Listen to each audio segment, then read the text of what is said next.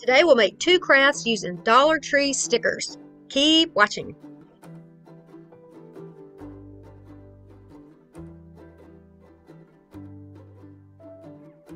All right, so we're going to start with this little frame wall decor that came from Dollar Tree.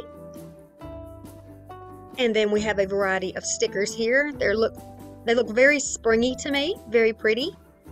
So these are going to be the ones we're going to use today. You can find these in the Crafter Square. Use any ones that you like. The idea is the same. Choose some scrapbook paper or some wallpaper or some adhesive paper, whatever you want to use for your background. This one is very cute. This one I think I got from Joann on a clearance. I believe I did.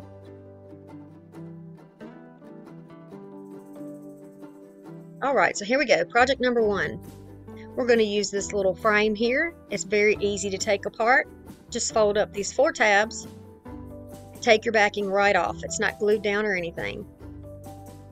You can peel it off if you want, or you can use the back, whatever you want to do. Sometimes it comes off easy and sometimes it's a real booger to remove.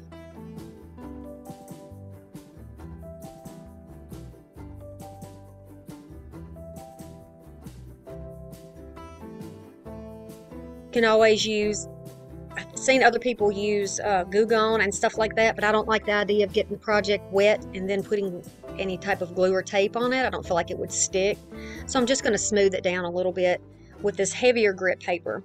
I use a sanding block most of the time for my projects, but I needed a heavier grit to really smooth down the bulk of this paper. So the first sticker I'm going to use will be this yellow truck on the top.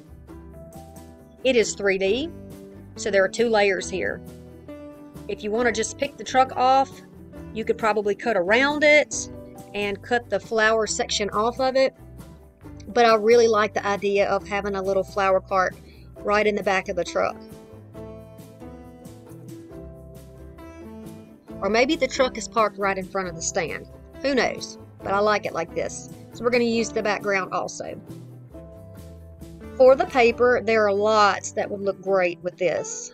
But just go through and kind of get an idea of what you like and what you want.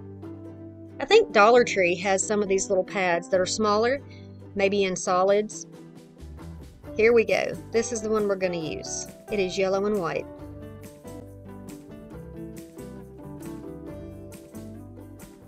You could use wrapping paper for this too if you wanted.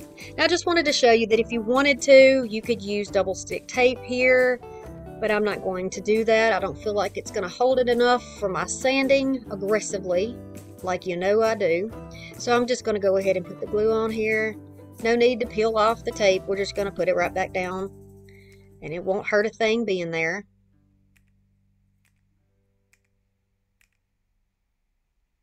Okay, just pressing that down firmly to make sure that we have good good seal there. And then I'm going to use my wooden ruler to press it down. I decided to trim just a little bit. If you use a double stick tape instead of the glue stick, you would certainly need to cut this neatly close to the edge so that you have a nice finished look. I'm going to take my sanding block here and just start trimming away downward and outward from my backing. And it's just going to shear that right off for you. And there you go. You can see before the, I pressed it down, you could see the little tape, but it's going to be covered, so it's all right. Then decide where you want your sticker to go. Top, bottom, center, wherever you like it. Excuse my shaky camera, it's actually like a tripod arm that's attached to the table, so it wiggles. I'm sure you've seen it on here before. So going to the other pack, I like this, I think it says, uh, yes, Live Today. I liked this one with the little yellow flower. I'm going to add that one on the bottom there. And don't worry about it looking top heavy because we're going to fix that. Pop that right back into your frame. Fold your tabs down. And because we didn't glue it, we'll be able to use this project again. So here we go. I love the little beaded top. It came that way, which makes it really, really nice and finished looking. Go ahead and take some coordinated ribbon. It does not have to be wired for the type of bow that we're going to make. So go ahead and grab that Dollar Tree ribbon. Save yourself some money. I love the lemons the first time I found it. So pretty. I think lemons are going to be big this year. So hopefully I'll be coming up with some more crafts with lemons for you.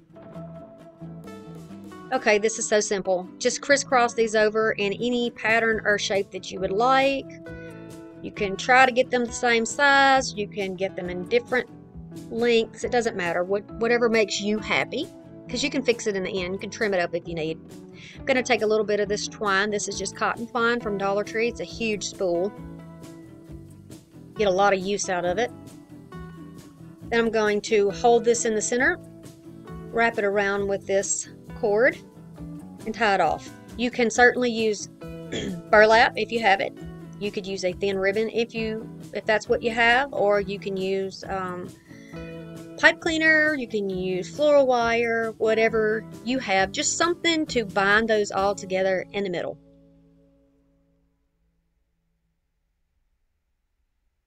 So if there's some frayed ends, just be sure that you trim that off. For me, trimming a couple of pieces to make sure that they're all even is a necessary thing. And then you can just kind of flare them out a little bit. Pull them around, get them where you like them, and decide where you want to put this. I think it would look better on the bottom to kind of balance out the heaviness from the hanger and the truck on the top. Just a little bit of hot glue so we don't make a mess. Put the center right in the center bottom of the frame. And that was so simple, and look how pretty that is. Cute as can be, and it is ready to go. Make a nice gift too, I think. It's definitely spring. All right, on to project number two. And I'm going to use the bicycle this time with the pansies.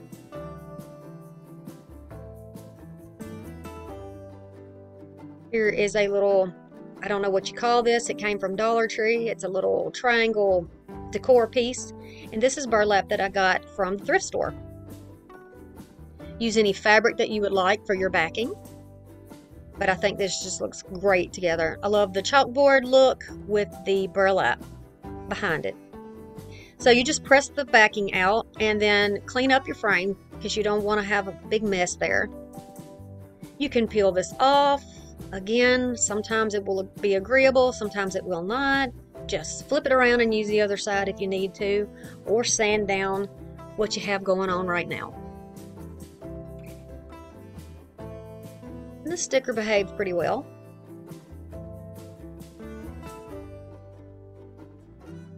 Okay, now, nice and pretty. Cleaning up a little bit and putting down my fabric. Alright, so I want to get an idea of how much fabric I'm going to need to wrap around the edges. So I'm just going to cut a square of it and then start trimming it down so that I have about an inch overhang on each of the sides of the triangle.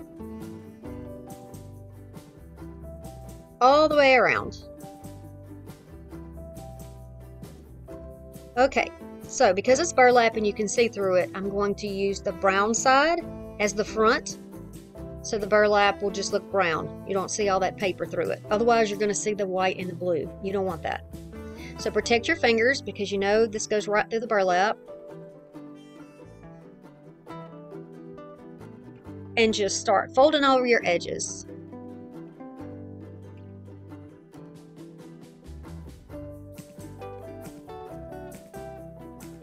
Adding glue, tucking, folding over where you need, and then you can always trim up anything left that kind of hangs out or gets in the way. Those little pieces will just come straight out of there.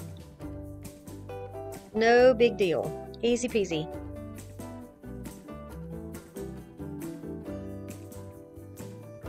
See, I'm cleaning that corner up. All right, now watch how I fold this corner. Fold it in and then over. Makes a nice, neat corner. And you can cut the bulk off there and then continue around with this side till you get up to the top tip of the triangle.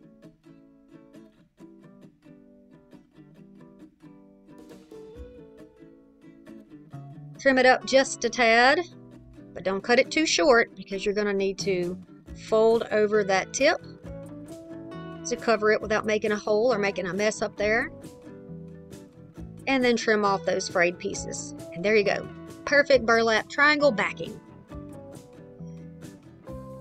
So this is the bike that we're going to use and the largest part of this triangle is the bottom so we are going to put our bike down there.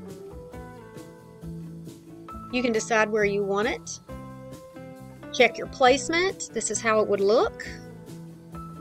You don't want to have your wheel stuck behind the, the trim there, so be sure that you get it centered. And then choose what sign that you want to use. You know me, I love the word joy, and enjoy is, you know, sounds to me like you're in joy. So I love that. It's perfect. It's perfect for carefree springtime DIYs. You're going to need hot glue to hold these down. The adhesive is not going to stick well to this burlap. Put your stickers on there where you like them. Look at it and decide, do you need to add more? Can you stop here? And I love these pansies. So I was trying to get an idea of what else I might want to add on here. But I think this is what, yes, this is what I'm going to do to fill that bottom out. Little hot glue and put the bouquet of pansies right there at the front of the bike. All right.